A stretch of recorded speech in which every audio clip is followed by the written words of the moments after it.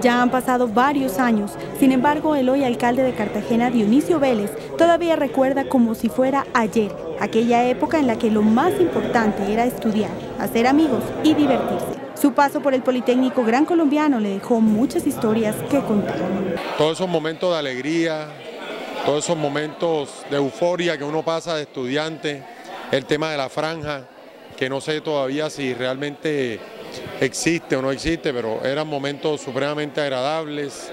Los pandebonos de ahí abajo, no sé tampoco si están. Dionisio pues desarrolló toda su carrera eh, profesional en el poli y aquí en el, tecnológico y eh, pues hoy en día es un gran colombiano exitoso, un, gran colombiano que además ha sido emprendedor porque fue empresario, después también trabajó en el área educativa y hoy es el alcalde de Cartagena. Y más allá de los buenos momentos están los valores y la formación académica, esa que le sirvió para llegar tan lejos como se lo propuso. Hoy todo ese apoyo, toda esa educación y ese fortalecimiento académico que recibimos del, del Politécnico es lo que me permite de alguna manera o me permitió ser candidato y me, hoy ser alcalde de la ciudad de Cartagena. Estoy muy agradecido y vuelvo y repito, eh, aquí eh, tiene las puertas abiertas del Politécnico Gran Colombiano y quiero que se sientan orgullosos de que un egresado del Politécnico no solamente sea el alcalde de la ciudad, sino que estemos haciendo las cosas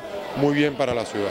Por convertirse en ejemplo para todos los estudiantes y por dejar en alto el nombre del Poli, el rector Fernando Dávila y varias directivas de la institución viajaron a la ciudad natal del alcalde para hacerle un reconocimiento.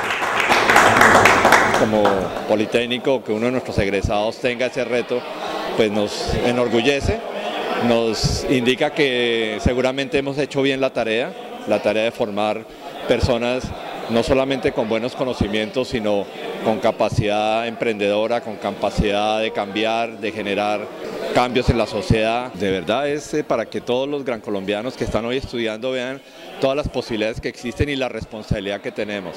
El mandatario cartagenero destacó la labor del Politécnico Gran Colombiano como pionero en el desarrollo de programas de educación virtual. También envió un mensaje a todos los estudiantes de nuestra institución. Que así como yo tuve eh, el valor, como tuve el deseo de aspirar a una alcaldía de Cartagena para empezar a transformar nuestras ciudades, que sea esta una invitación para decirles a ellos que también lo pueden hacer desde cada una de sus regiones. A sus 38 años, Dionisio Vélez ha ocupado importantes cargos en el sector educativo y empresarial.